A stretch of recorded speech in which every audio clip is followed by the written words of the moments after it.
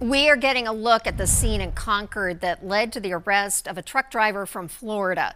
Police say Sunday morning the driver of this tractor trailer repeatedly crossed into oncoming traffic, first on Clinton Street and then on the interstate. Investigators say several drivers had to swerve off of the road and one vehicle was hit by the truck. No one was hurt. Police have not released the name of the driver.